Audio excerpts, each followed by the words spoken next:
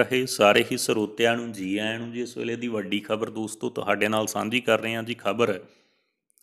ਪੰਜਾਬ ਤੋਂ ਜਿੱਥੇ ਇਸ ਪਿੰਡ 'ਚੋਂ ਮੱਚਿਆ ਹੜਕੰਪ ਸੱਤ ਵਿਅਕਤੀਆਂ ਨੂੰ ਇਸ ਕਾਰਨ ਕੀਤਾ ਗਿਆ ਕਾਬੂ। ਜਾਣਨ ਦੇ ਲਈ ਵੀਡੀਓ ਨੂੰ ਅੰਤ ਤੱਕ ਦੇਖ ਲਿਓ, ਤੁਹਾਨੂੰ ਪੂਰੀ ਖਬਰ ਦਾ ਪਤਾ ਲੱਗ ਜਾਏਗਾ। ਵੀਡੀਓ ਨੂੰ ਲਾਈਕ, ਚੈਨਲ ਨੂੰ ਸਬਸਕ੍ਰਾਈਬ ਅਤੇ ਵੀਡੀਓ ਨੂੰ ਵੱਧ ਤੋਂ ਵੱਧ ਸ਼ੇਅਰ ਕਰਨਾ ਨਾ ਭੁੱਲਿਓ।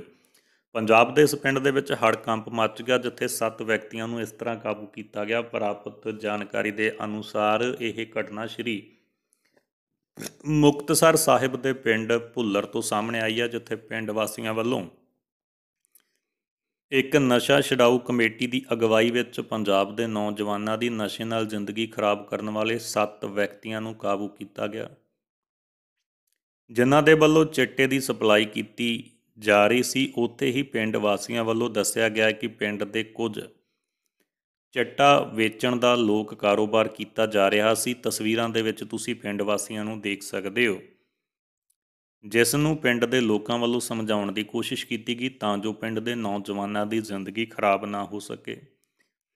ਇਸ ਗੁੱਸੇ, ਗੱਲ ਤੋਂ ਗੁੱਸੇ ਦੇ ਵਿੱਚ ਆ ਕੇ ਉਸ ਵਿਅਕਤੀ ਵੱਲੋਂ ਪਿੰਡਾਂ, ਹੋਰ ਪਿੰਡਾਂ ਦੇ ਨਸ਼ਾ ਕਰਨ ਵਾਲੇ ਮੁੰਡਿਆਂ ਨੂੰ ਪਿੰਡ ਵਿੱਚ ਬੁਲਾਇਆ ਗਿਆ, ਤਾਂ ਜੋ ਲੋਕਾਂ ਨੂੰ ਡਰਾਇਆ ਧਮਕਾਇਆ ਜਾ ਸਕੇ ਉਸ ਦੀ ਇਸ ਹਰਕਤ ਨੂੰ ਦੇਖਦੇ ਹੋਏ ਪਿੰਡ ਵਾਸੀਆਂ ਵੱਲੋਂ ਇਹਨਾਂ ਲੋਕਾਂ ਨੂੰ ਕਾਬੂ ਕਰਕੇ ਪੁਲਿਸ ਦੇ ਹਵਾਲੇ ਕਰ ਦਿੱਤਾ ਗਿਆ। ਉੱਥੇ ਹੀ ਪੁਲਿਸ ਦੇ ਵੱਲੋਂ ਮੌਕੇ ਤੇ ਪਹੁੰਚ ਕੇ ਇਹਨਾਂ ਵਿਅਕਤੀਆਂ ਨੂੰ ਕਾਬੂ ਕੀਤਾ ਗਿਆ। ਦੱਸਿਆ ਗਿਆ ਹੈ ਕਿ ਇਹਨਾਂ ਦੇ ਕੋਲੋਂ ਇੱਕ ਦੇਸੀ ਕੱਟਾ, ਚਿੱਟੇ ਦਾ ਨਸ਼ਾ ਲੈਣ ਲਈ ਵਰਤਿਆ ਜਾਂਦਾ ਸਮਾਨ ਅਤੇ ਕੁਝ ਮਾਤਰਾ ਵਿੱਚ ਚਿੱਟਾ ਵੀ ਬਰਾਮਦ ਕੀਤਾ ਗਿਆ ਹੈ।